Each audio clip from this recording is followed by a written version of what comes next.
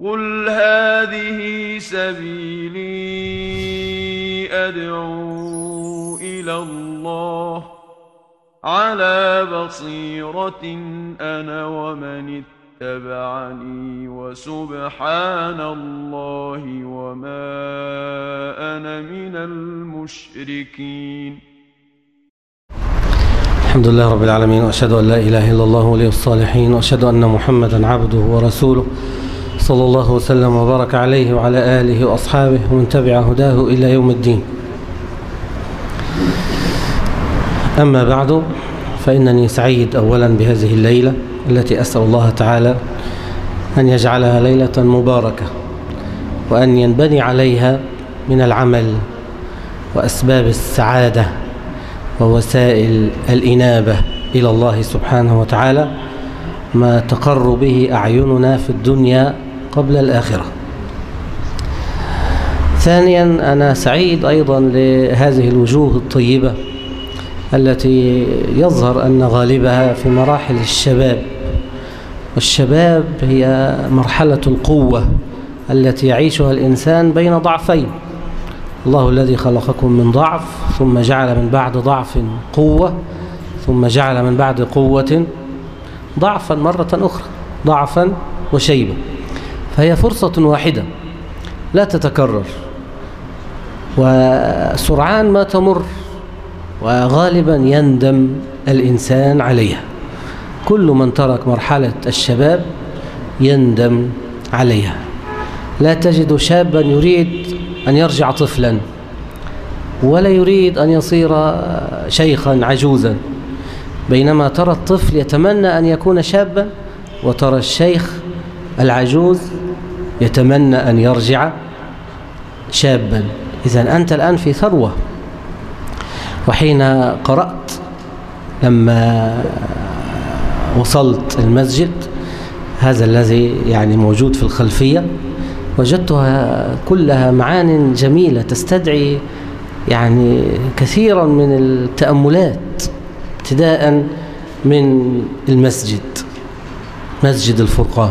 كلمة المسجد في ذاتها كلمة عظيمة. أول شيء في بناء الدولة الإسلامية. لما هاجر النبي صلى الله عليه وسلم من مكة إلى المدينة وبدأ بناء الدولة دولة الإسلام أول شيء فعله أن بنى المسجد لأن المسجد ليس مجرد معبد للعبادة. هذا شأن اليهود والنصارى. لكن في الإسلام المسجد هذا محض للتربية. ومعهد للعلم ومأوى لأبناء السبيل ومطعم للفقراء ومعقد لألوية الجهاد ومجلس للصالحين ويعني نادي يعني يتداعى فيه الناس لكي يتأملوا في شؤون حاضرهم ومستقبلهم. وقل ما شئت كلمة كبيرة ليست مجرد يعني معبد. تصلى فيه ركعتان أو أربع ركعات ثم ينصرف الناس.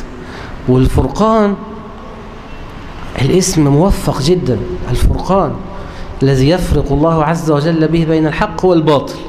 والإنسان في هذه الدنيا ليس أمامه إلا طريقان إما طريق الحق وإما طريق الباطل. ويترتب على هذا شأنه في الآخرة فريق في الجنة لأهل الحق وفريق في السعير لأهل الباطل.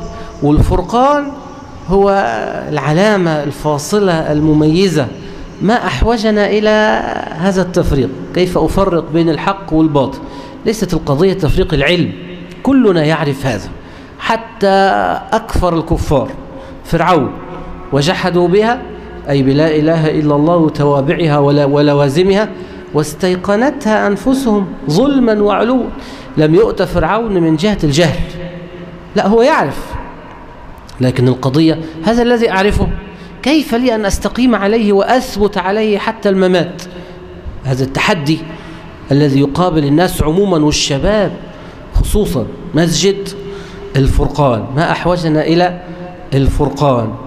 يا أيها الذين أمنوا إن تتقوا الله يجعل لكم فرقانا. هذا هو الفرقان. إذا هو مرتبط في الحقيقة بتقوى الله سبحانه وتعالى.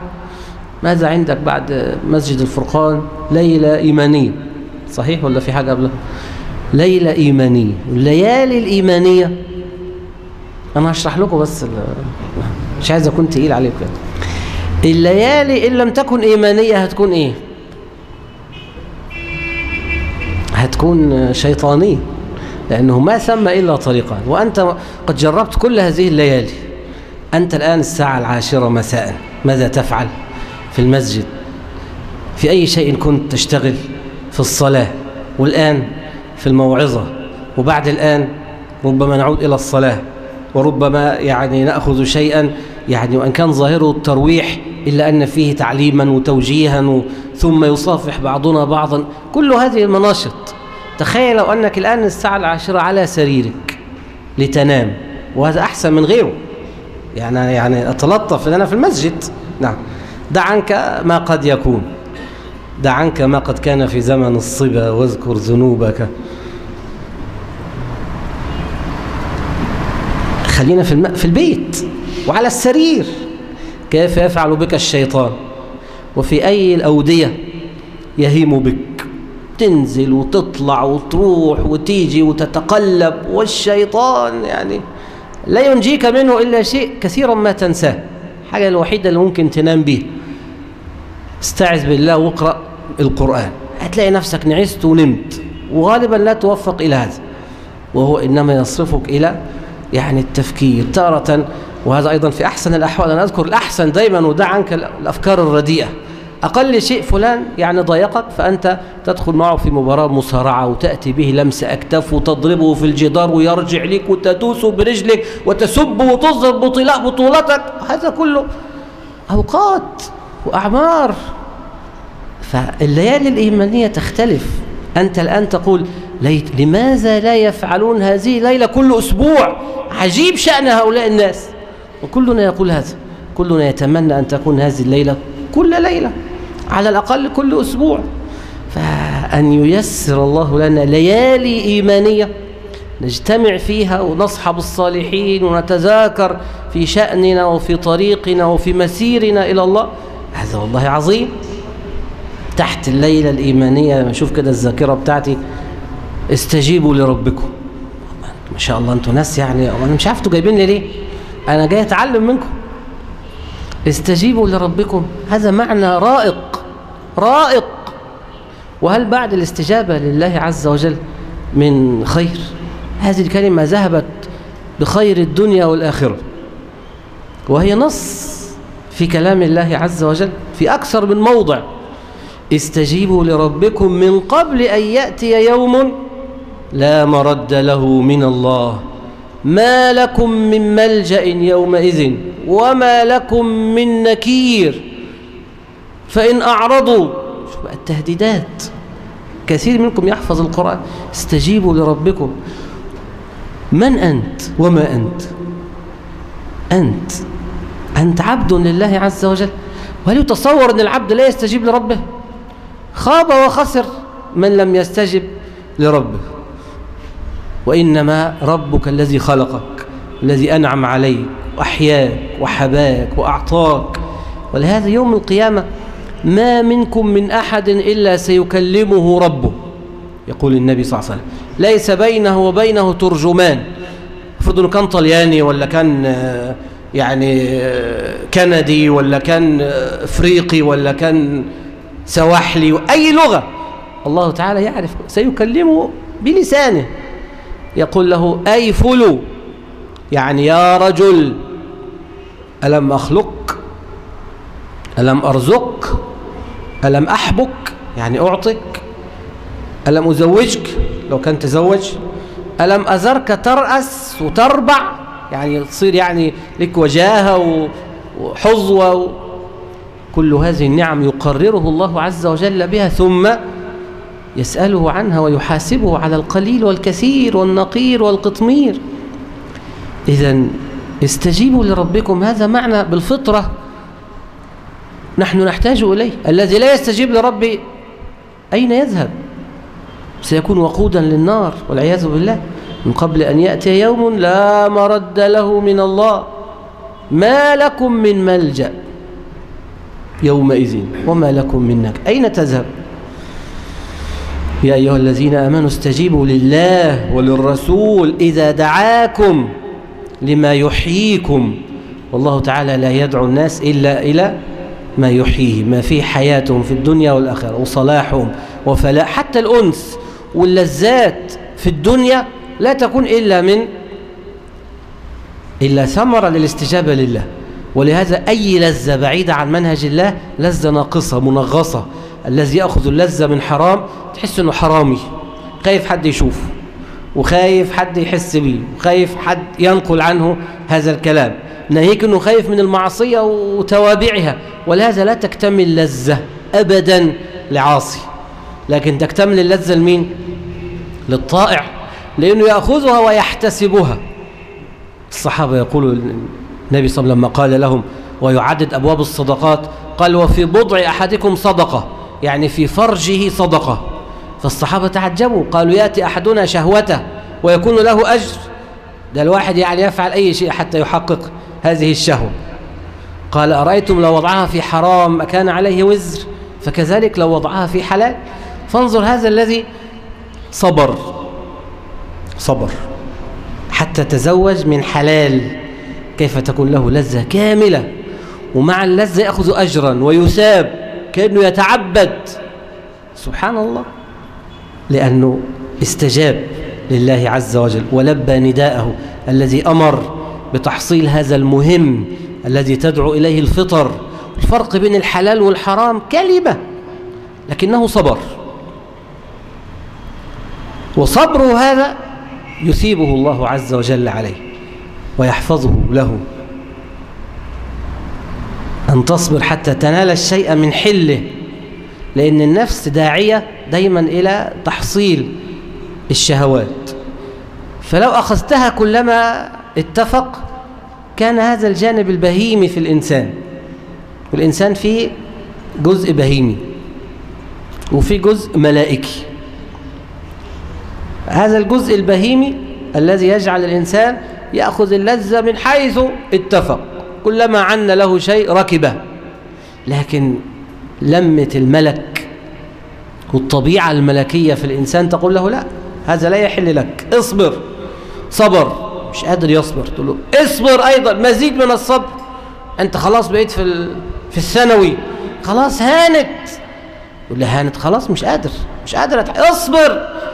صلي توضأ اذكر الله عز اصحب الصالحين. ما يزال حتى يصل إلى أشبه بهذا الصائم الذي جاع وعطش وصار بعد العصر بساعة. بقيله قد إيه على المغرب. بقيله ساعة كمان. يصبر هذه الساعة حتى تكتمل فرحته ولذته وأنسه في الدنيا والآخرة. للصائم فرحتان إذا أفطر فرح بفطره يعني في الدنيا وإذا لقي ربه فرح بصومه يعني بجزائه في الآخر. لو فعل هذا يفرح ولا ما يفرح؟ طب ولو استعجل وغلبته الطبيعة البهيمية؟ وقال لك يا عم توكل على الله ربنا غفور رحيم مشيها بقى أنا هموت. افتح الثلاجة وشوف أي حاجة. هذا شغل البهائم ليس فيه لذة لا في الدنيا ولا في الآخرة. أما الآخرة فمعروف. هذا مرتكب كبيرة من أعظم الكبائر. يفطر في رمضان يقصر في فرض الله طب وحتى الدنيا التي فعل لأجلها هذا ماذا استفاد؟ ما استفاد شيئا. ولم يفتح الثلاجة قبل العصر بساعة. هيلاقي المحمرات والمشمرات والمسخنات وال... ولا هيفطر على إيه؟ على بصلة. ولما نيجي بقى ساعة المغرب ويجلس مع بقية الجماعة وكلهم فرحان هو يكون فرحان؟ هذا شأن من استعجل الشهوة قبل يعني وقتها الذي وقته الله سبحانه وتعالى. استجيبوا لربكم بأن تلزموا الاستقامة وأن تجتنبوا أسباب الانحراف. تحت استجيبوا لربكم. ثورة على النفس ولا لسه؟ ثورة على النفس. وأنتم شباب الثورة. يعني الحقيقة الكلام ده أنا لا أشرحه لكم. كل واحد فيكم ناشط سياسي وصاحب يعني ثورات ويعرف كيف يثور وعندنا حركات و... وتكتلات و... و... طيب يعني إحنا خبراء بقضية الثورة وفقه الثورات لكن الثورة على النفس هذه هذه تحتاج إلى صبر الرجال. وعزائم الأحرار وهمم الأبطال. هذه معاني كبيرة جدا. ثورة على النفس. هذه الثورة على النفس في الحقيقة هي التي يتكلم الله عنها لكن يسميها التغيير. ذلك بأن الله لم يكن مغيرا نعمة أنعمها على قوم حتى يغيروا ما بأنفسهم. يعني لما الناس تغير الأصل الله تعالى يقول كما في الحديث القدسي إني خلقت عبادي حنفاء. كلهم يعني حنفاء يعني على الاستقامة ترك الميل إلى الشرك ونحو ذلك. هذا هو أنت مولود على الفطرة. مولود طاهرا نظيفا سليما عفيفا في كل المعاني البيضاء النقية أمال إيه اللي حصل؟ حصل إن أنت عملت إيه؟ أول ما شميت نفسك وطولت لك شبرين وحفظت لك كلمتين وخرجت لك في تين إيه اللي حصل بعد كده؟ حسيت إن أنت يعني فبدأت تكلم لك يعني محمدين وحسنين و... وبالتالي حصل نوع من الانحراف عن هذه الفطرة التي خلقت عليها فغيرت. أنت غيرت. فلما غيرت ربنا عمل إيه؟ الجزاء من جنس العمل عقوب مش أنت غيرت ربنا غير. ما الذي غيره لك؟ بدل ما كنت سعيدا بالفطرة بدأت تحس بالإيه؟ بالشقاء. بدل ما كنت تجد سهولة في أمورك تحس بعسر. بدل ما كنت تستشعر إن الصلاة سهلة والقرآن. بدأت تنصرف. هو هذا. ذلك بأن الله لم يكن مغيرا نعمة أنعمها على قوم حتى يغيروا بأنفسهم. طب لما تيجي ترجع تعمل إيه؟ ارجع تاني. العودة أحمد. مكانك تحمدي أو تستريحي. إن الله لا يغير ما بقوم حتى يغيروا ما بأن. وهذه الثورة. يعني إيه ثورة؟ إحنا محتاجين نثور مرة أخرى. هي الثورة مش ناجحة ليه يا أخوانا سألتش نفسك.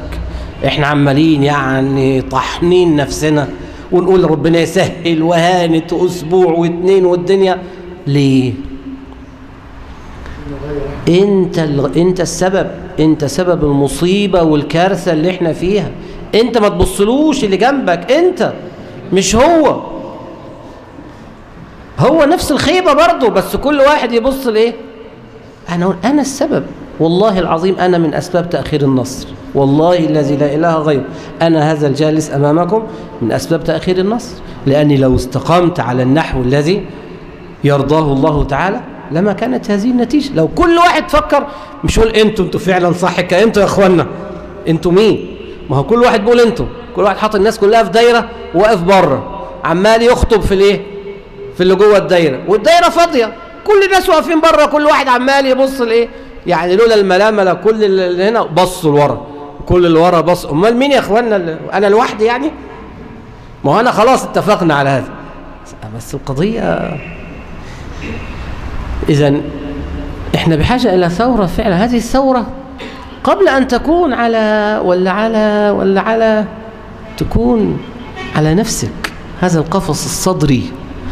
إن في الجسد مضغة. إذا صلحت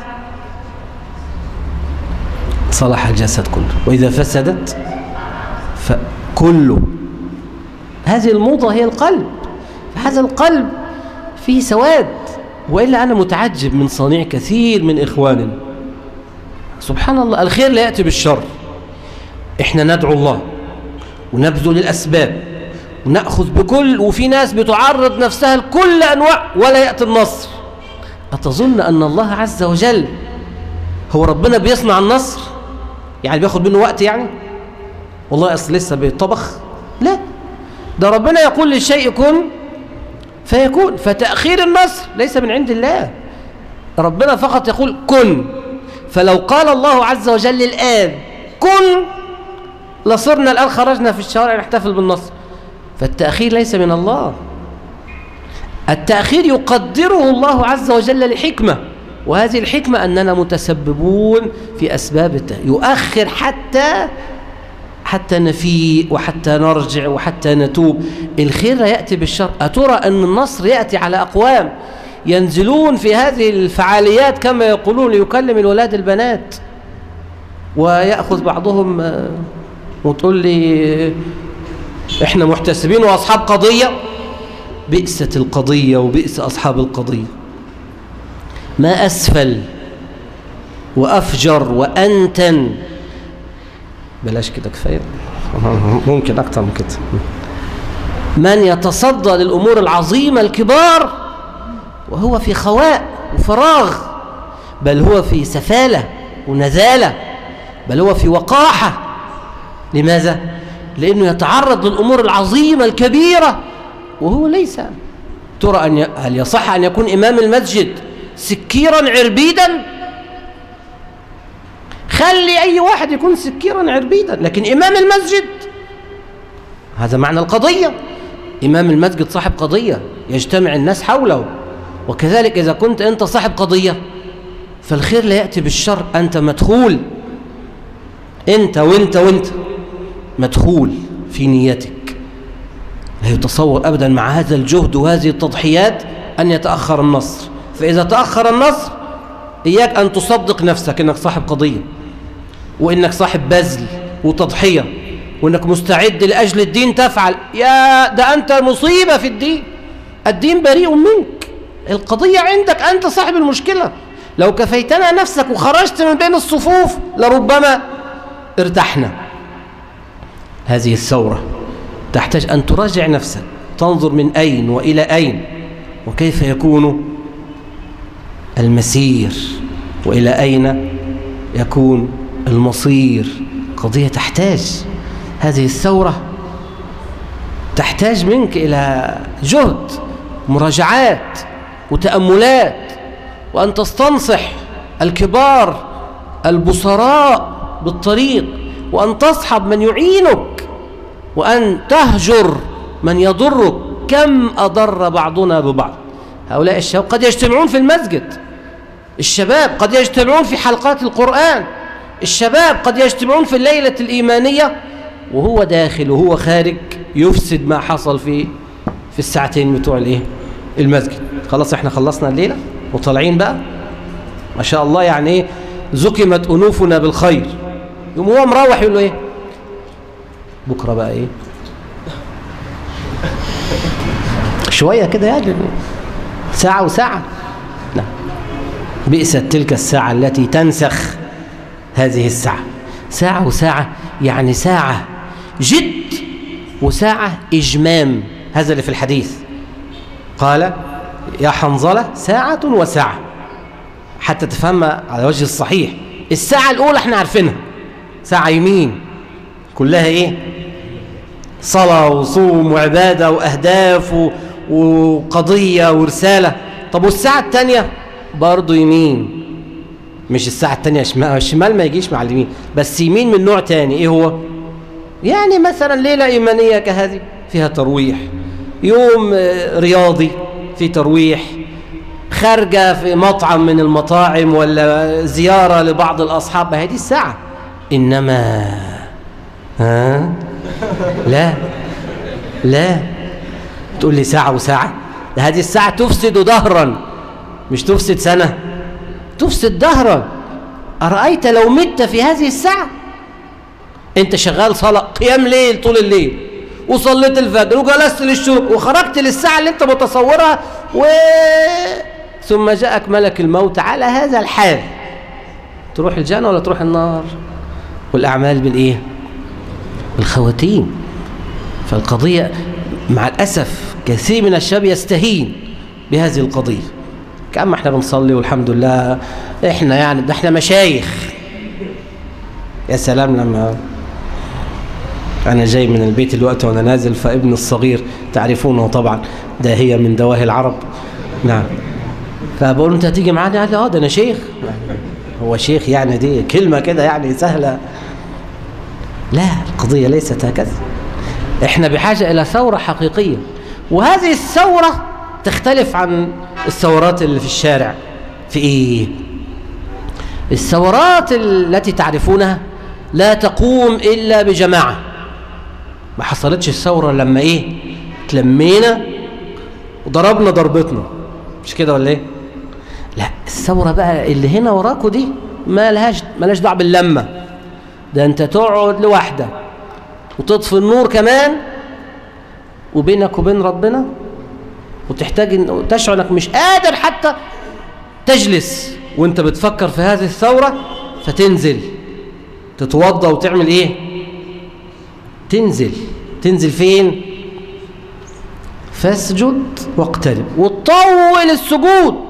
انسى بقى الزمان والمكان والناس. عملت كده؟ طول ما أنت بتسجد سبحان الله.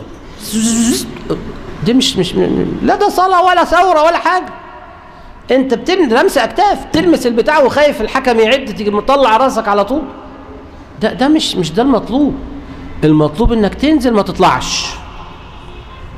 خالص خالص. طب إزاي؟ هو ده اللي قال عليه ابن القيم. يعني سجدة لا يرفع رأسه إلا يوم القيامة. كأنه يستشعر طول عمره ساجد. يعني انت عارف نفسك بقى كل واحد فينا مكشوف أمام نفسه. انت عارف غدراتك وفجراتك وسفالاتك وحقاراتك وهاتك وهاتك. ومين اللي كشفك؟ تماما. فالثورة هنا إنك تسيبك بقى من أحمد وأسامة ومحمود وإبراهيم وعلي. خلاص مش نافعينك دول. إنهم لن يغنوا عنك من الله شيئا. ده هم سبب البلاوي. فأنت بحاجة إلى ثورة إنك بينك وبين ربنا. تقول يا رب أنا تعبت من نفسي وأنا سئمت نفسي وكرهت نفسي وأنا بريء من نفسي ومن أعمالي وأنا حاولت وعاجز لا أستطيع. ولا تقوم وأنت بتفكر بالروح دي تيجي لك معنى الأذكار اللي أنت عارف لا حول ولا قوة إلا بالله. ده معنى لا حول اللهم اهدني. بس تطلع بروح بقى تانية روح فعلا واحد ص... ترى يردك الله عز وجل على هذه الحال؟ لا والله أبدا. والله ما أقبل أحد على الله وصدق التوبة ورده. أبدا. أمال إيه اللي بيحصل؟ ما بتكونش توبة ولا ثورة. ده أو على باب المسجد وأنت خارج بتلاقي العملية خلاص اتبخرت. ويمكن من قبل الثلاث دروس مع بعض يا عم خلصونا بقى. أول ما تقول يا عم خلصونا تعرف إن أنت مالكش في الموضوع. هو أنت جاي عشان يا عم خلصونا؟ ولا جاي عشان تفتح قلبك وت... إذا هذه الثورة ثورة فردية. لأنك إذا لقيت ربك سيسألك وحدك. كل امرئ بما كسب رهين. أنا لن أطيل عليكم لكن أنا أستشعر من هذه الوجوه وجوه الشباب ومن خبراتي أنا طبعا عارف كتير منهم يعني أنهم ناس طيبون في الحقيقة وفيهم خير كثير. إيه المشكلة؟ المشكلة بتأتي نتيجة الاستهانة. أنت عارف الحرام وعارف الحلال أنا أجزم بهذا. لكن في نوع من الاستهانة والاستهانة قد لا تأتي بالحرام. لكن تأتي بالأمور المقدمات دايما. والمقدمات إذا استهنت بها حتى لو كانت مباحة تيجي المرحلة خرجت من إيدك. وهذا الذي نريد أن يعني ننبه عليه في ختام هذه الكلام. اللي بيسميه العلماء الفضول. يعني إيه الفضول؟ يعني الحاجات اللي ممكن تكون مباحة لكن الإكثار منها يصل بك إلى طريق لا عودة. يعني فضول النظر فضول السمع فضول الكلام فضول المنام فضول الطعام فضول الصحبة فضول اللباس فضول المسكن. كل هذه أنواع من أنواع الفضول. يكون في أصلها الإباحة لكن الإنسان يبالغ فيها على نحو قد يصل به إلى يعني المحرم. فالترخص في البدايات قد يؤدي إلى نهايات غير سعيدة. طبعا أنتم سامعين الكلام. دعنا من هذا ال... فأنا أحذرك. الحرام أنت تعرفه. أنا أحذرك من الفضول. كل أبواب الفضول وهي التي يعني قعدت بكثير من الشباب عن سلوك الصراط المستقيم. وأنا أضرب لك يعني بعض الأمثلة. العرب زمان كانت يعني تستقبح الزنا في الجاهلية في الجاهلية. حتى تعرف إن إن إحنا متأخرون جدا. العرب تستقبح الزنا حتى في الجاهلية. كانوا يفعلونه. في الجاهلية كانوا يزنون صحيح. لكن الإنسان الأصيل الحر لا يفعل هذا. ولهذا لما أخذ النبي صلى الله عليه وسلم البيع على النساء لما أخذ البيع على النساء أخذ عليهن يعني من جملة ما أخذ ألا يزنين. فقامت هند امرأة أبي سفيان وقالت أو تزني الحرة؟ هي غير متصورة أن الحرة تزني. مش ديانة ده مروءة. وأخلاق الشهامة واللياقة. فهذا شأن العرب.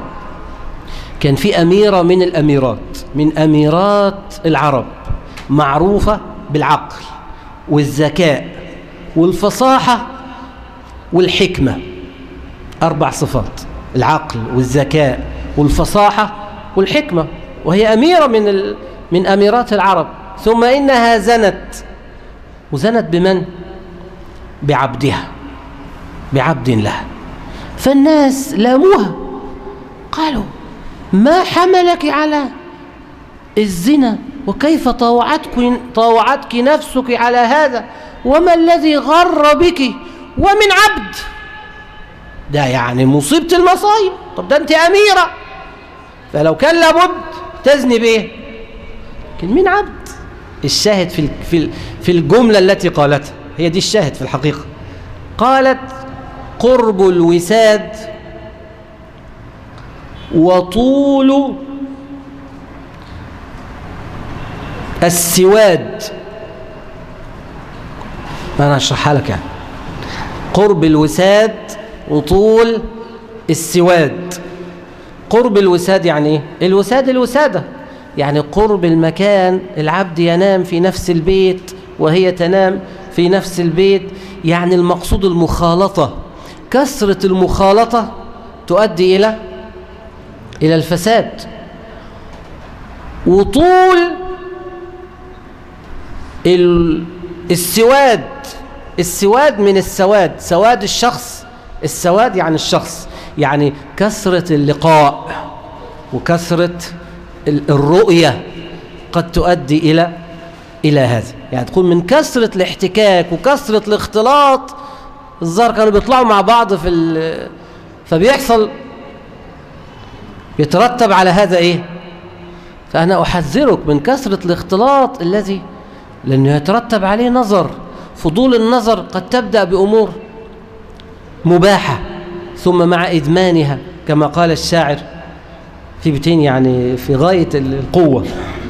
يقول لأمثالك وأمثالي وكنت إذا أرسلت طرفك طرف هو النظر وكنت إذا أرسلت طرفك رائدا لقلبك يوما أتعبتك المناظر. رأيت الذي لا كله أنت قادر عليه ولا عن بعضه أنت صابر. وكنت إذا أرسلت طرفك رائدا لقلبك. ما هو الطرف هو مدخل يعني العين مدخل القلب. رائدا لقلبك يوما أتعبتك المناظر. ولهذا من يغض بصره سعيد ومن يطلق بصره لا شك أنه غير سعيد. من يطلق بصره لأنه إيه اللي حصل؟